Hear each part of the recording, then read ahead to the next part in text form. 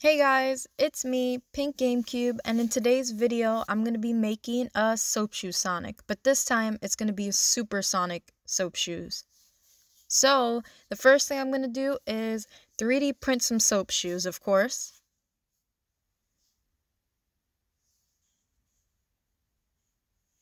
Then, using my X-Acto knife, I'm just going to cut off his shoes to give him some soap shoes.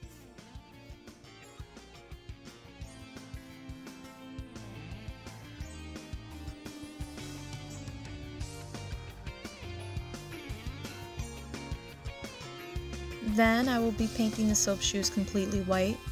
This way we have a nice clean base to start with. Same thing for his eyes.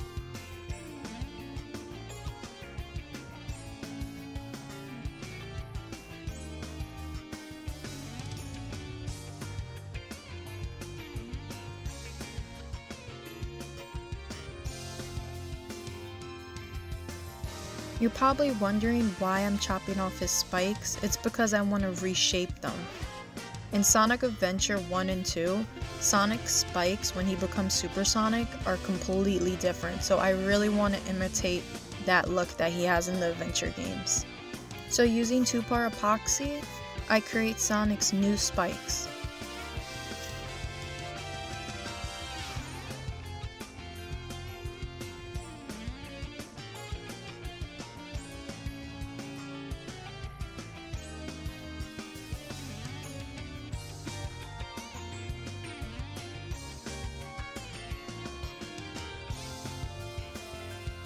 Then using some crazy glue, I just glue in his new kicks.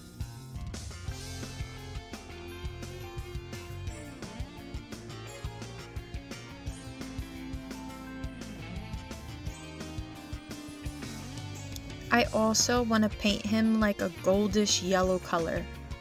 This way he looks kind of metallic like he did in the game.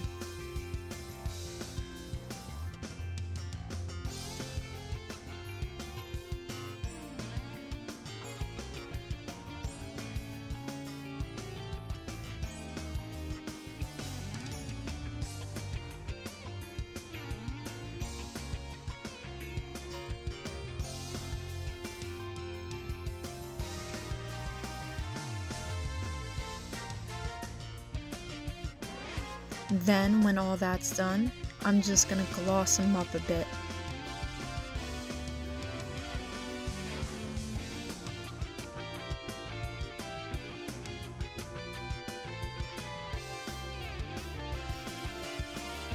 Now it's time for my favorite part, painting the soap shoes. Something about painting the soap shoes and painting all those fine details just really makes Sonic pop. There's a reason why soap shoes are my favorite Sonic shoes.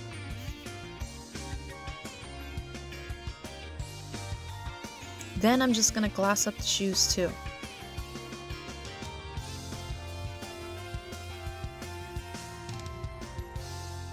And here's the final product, the Super Sonic with some soap shoes.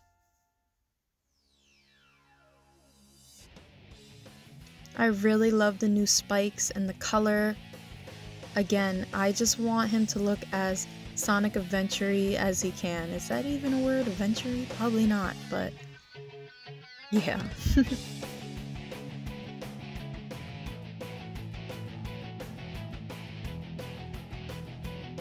if you liked the video, please like, subscribe, and I'll see you next time.